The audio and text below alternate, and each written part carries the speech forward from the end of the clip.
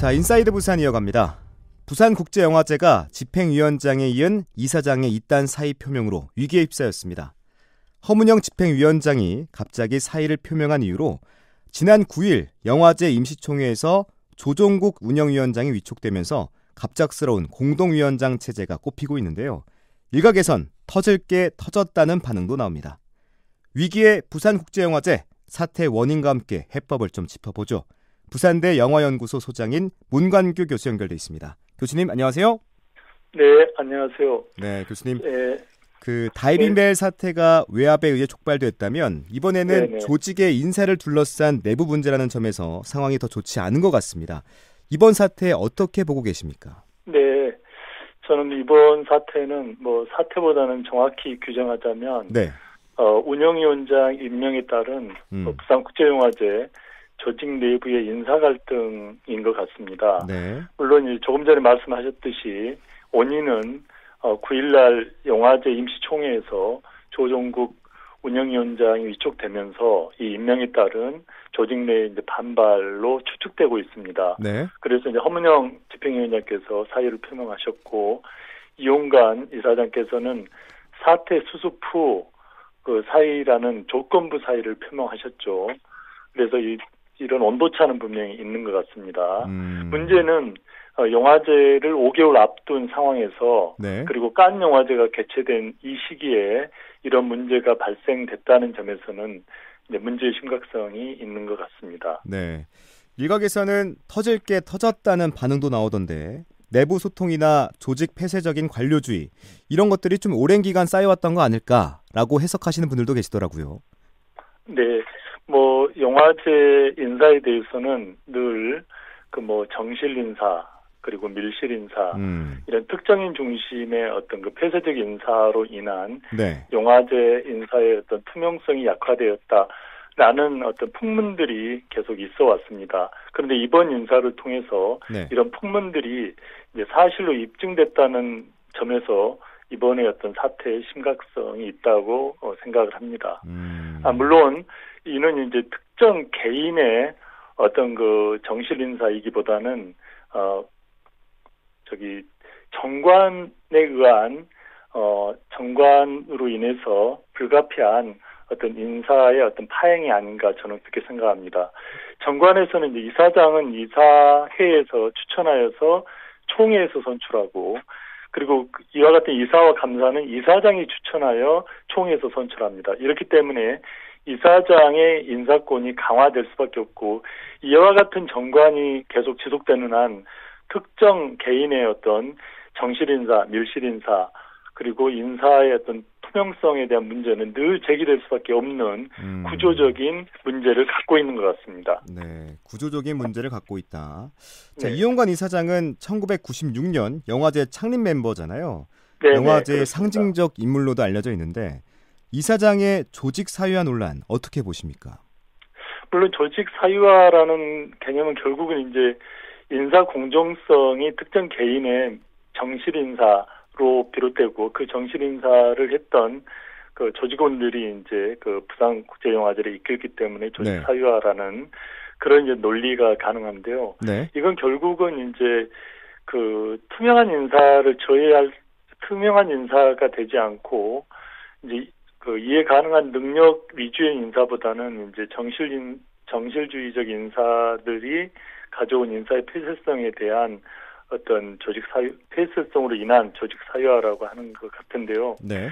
저는 이제 이런 조직 사유화보다는 영화제가 갖고 있는 이제 공공재로서 영화제를 어떻게 우리가 이렇게 계속해서 지속 가능하게 유지 발전시킬 수 있을 것인가 이런 부분은 결국은 이제 그 개인의 문제도 있지만 네. 그 정관의 개정이라는 제도적인 문제가 크게 음. 자리하고 있지 않은가. 이런 정관이 이제 개정되지 않고서는 결국은 네. 뭐 이번 인사에서 보듯이 그 특정 개인에 의한 어떤 그 정실 인사의 가능성을 배제하기는 어려운 거죠. 네.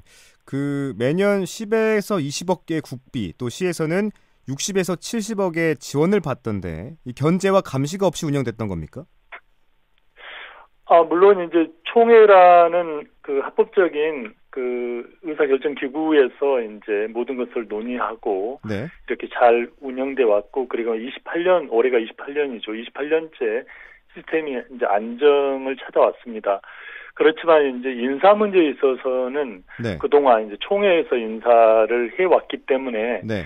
그 공정한 인사를 위한 외부의 어떤 그 인사 견제 시스템 혹은 검증 시스템 이런 것들이 제도적으로 이제 부재한 상태에서 음. 이제 특정 개인이 어떤 그 이런 정관을 통해서 본인이 원하는 인사를 할 수 있는 그런 장치가 이미 마련되어 왔었죠. 그래서 이번 기회에 이제 제도 개선이라는 문제에 대해서 모두가 공감을 하고 그런 경우 이제 외부 전문가 중심의 어떤 인사위원회를 설치해서 이제 투명한 인사검증 시스템이 도입이 돼야 부산영화제가 보다 건강한 시스템을 갖출 수 있지 않을까 뭐 그런 생각을 해봅니다. 네, 국비전 부분들은 이제 견제와 감시가 잘 됐다면 인사 부분은 좀 부족했다 이렇게 갈무리하면 될까요?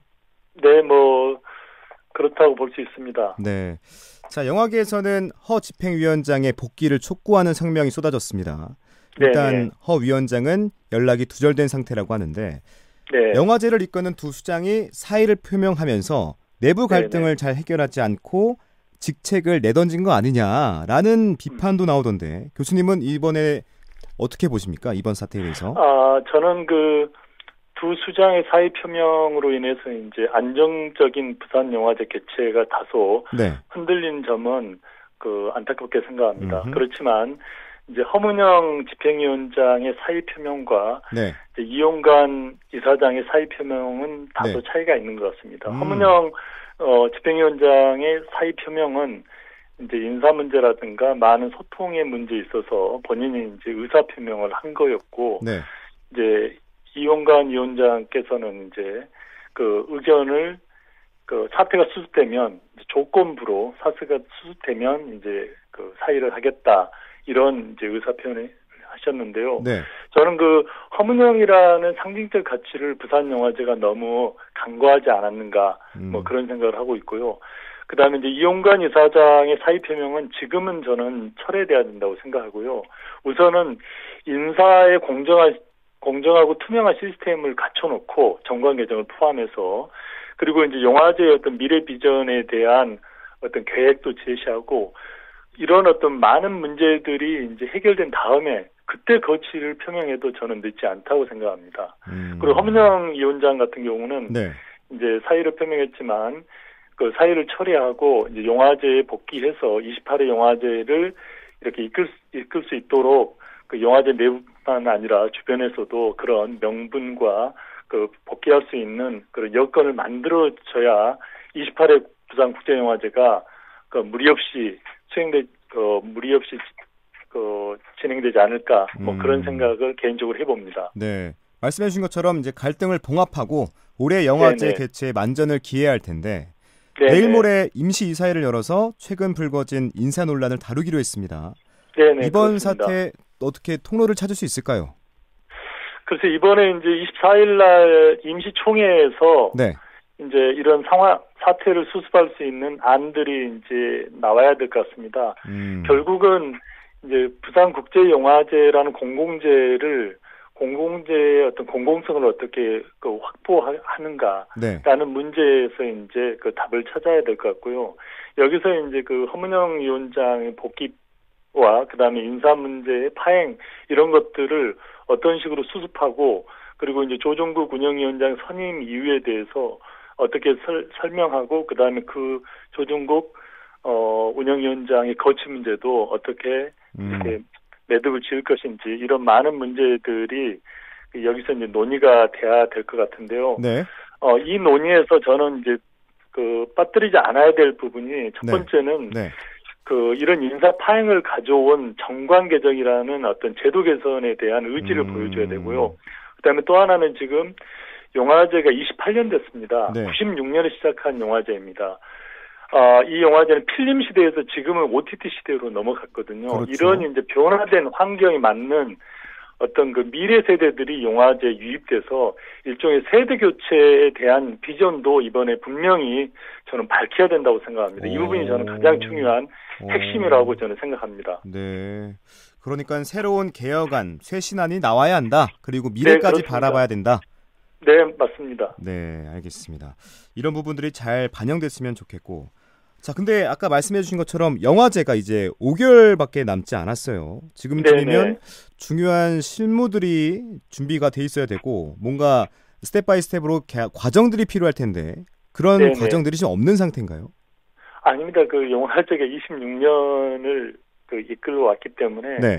내부적으로 시스템은 잘 갖추어져 있습니다. 어, 그러면 프로그래머 분들이 네. 이제 프로그램을 하고 그런데 이제 두 수장이 이렇게 인사 문제로 인해서 그 갈등을 보여줬기 때문에 네. 다소 이제 흐트러지는 면이 있겠지만 그 영화제의 이제 그 운영은 크게 문제가 없을 것 같습니다. 오. 그렇지만 보다 문제는 뭐냐면 네.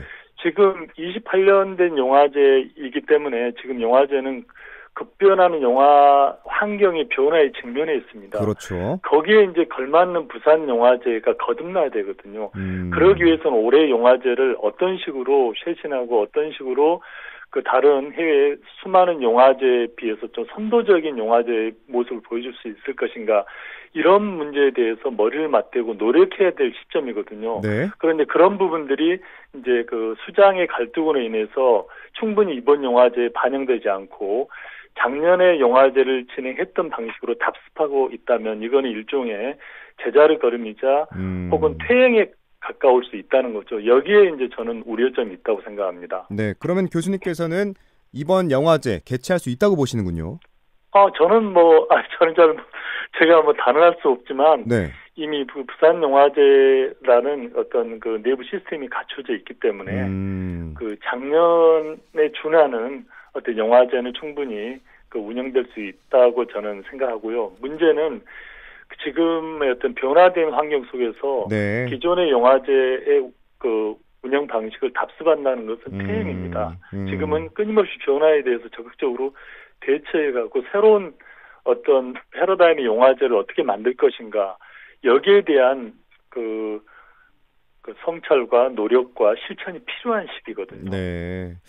자, 교수님께서 계속 말씀해 주시고 계신 게 답보하면 안 되고 퇴행하면 안 된다라는 말씀을 해주고 계신데 요즘 영화 네. 영상 산업을 보면 OTT 등 네. 디지털 환경으로 인해서 변화가 많았잖아요. 네, 네. 영화제의 미래를 모색해야 하는 어려운 시기인데 이렇게 한국 영화가 안팎으로 힘든 시기에 한국을 대표하는 영화제에서 잡음이 발생해서 안타깝습니다. 자, 이런 가운데 이제 부산국제영화제 2년 뒤면 30살이 되잖아요. 아까도 네네. 네, 28살이라는 표현을 하셨는데 네. 영화제가 앞으로 가고자 하는 길, 또 치열한 고민과 논의와 네. 성찰이 필요해 보입니다. 끝으로 하고 싶은 말 있으시면 자유롭게 남겨주시죠. 아, 네. 부산 영화제는 96년에 출범해서 그 아시아 영화 아시아에서 아시아를 대표하는 영화제가 되었고 그 다음에 한국 영화가 성장하는데 그 결정적인 영향을 준 영화제로서 운영돼 왔다는 운영돼 왔습니다. 이와 같은 이제 영화제 전통 영화제의 전통을 갖고 있는 영화제가 어 그 앞으로 그 아시아를 대표하는 영화제로서 발돋움하기 위해서는 그 제도 개선 그리고 이제 미래 비전의 선포 어라는 이런 어떤 보다 긍정적인 가치를 위해서 노력을 해야 되지 않을까 그런 생각이 들고요. 어, 그러기 위해서는 올해는 그 올해의 어떤 갈등들이 허문영 위원장의 복귀 그리고 이제 내부의 어떤 그 갈등의 봉합을 통해서 안정적인 28회 영화제를 치를 수 있도록 음. 모두 다 노력했으면 좋을 것 같습니다. 네. 네 이상입니다. 자, 아까 말씀하셨던 것, 네. 그 제도 개선이 필요하다. 또 변화된 환경 속에서 미래 비전들을 보여줘야 된다. 그리고 네네. 인사의 공정한 시스템이 반드시 필요하다라고 네네. 말씀해 주셨는데 네. 어, 이 사태를 맞아해서 좀 개선할 수 있는 또 우리가 새로운 모습을 보여줄 수 있는 계기가 되기를 바라겠습니다. 네네. 네, 지금까지 부산대 영화연구소 소장인 문관규 교수와 함께했습니다. 교수님 오늘 말씀 고맙습니다. 네, 감사합니다.